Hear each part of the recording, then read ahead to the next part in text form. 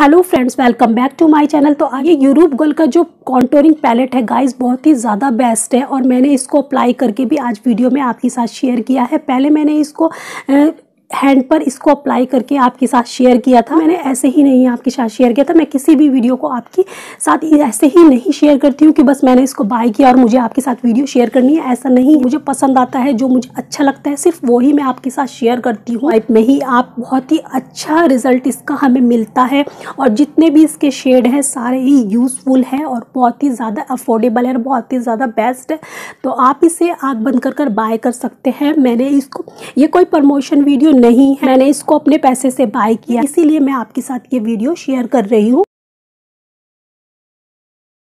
ये है Europe girl का कॉन्टोरिंग किट पैलेट तो आप देख सकते हैं। देखने में भी बहुत ही ज़्यादा सुंदर है और ये यूज़ करने में भी गाइस बहुत ही ज़्यादा औसम है। बस एक कमेंट आया था कि मैं इसको यूज़ करके फेस पर अप्लाई करके आपके साथ शेयर करूँ।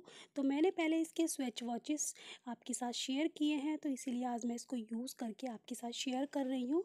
तो मैंने अपने फेस पर बेस रेडी किया हुआ है और मैंने फुल मेकअप अपना किया हुआ है, बट यहाँ पर मैंने कॉन्टोरिंग नहीं की हुई है और ना मैंने यहाँ पर हाइलाइटर अप्लाई किया है।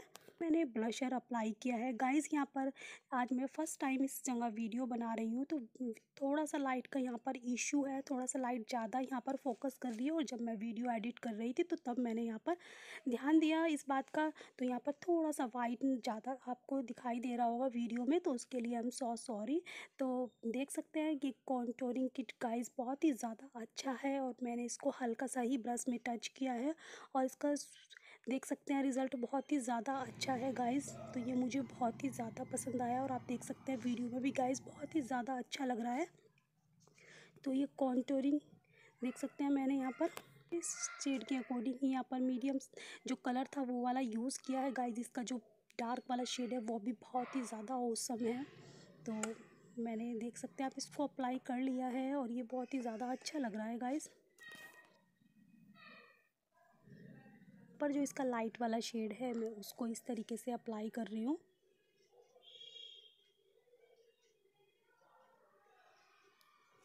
तो एक फाइन फिनिश लाइन के लिए मैं यहाँ पर इसको लाइट शेड को भी अप्लाई कर रही हूँ।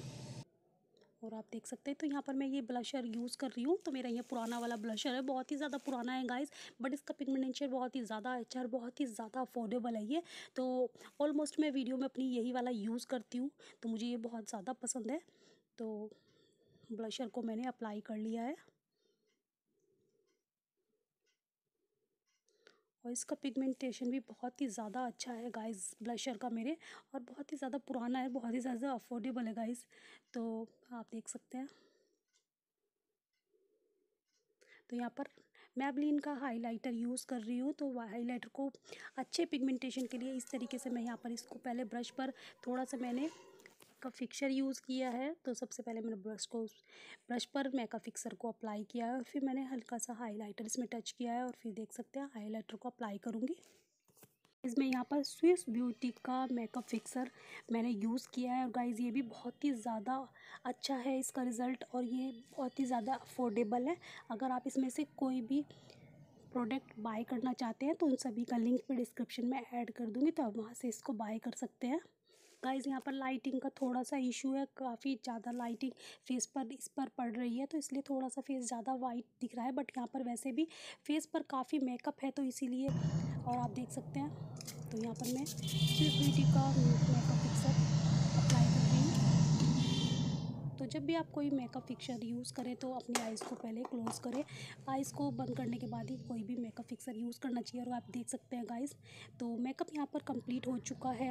मैंने यहाँ पर आपके साथ शेयर किया कल के कॉन्टोरिंग किट को, और आप देख सकते हैं इसका रिज़ल्ट बहुत ही ज़्यादा अच्छा है गाइस तो इसको बाय करना चाहते हो तो आप इसको बाय कर सकते हैं। आई होप आप सभी को ये पसंद आएगा। वीडियो हेल्पफुल रहे तो प्लीज़ वीडियो को लाइक करें चैनल पर नए हैं तो प्लीज़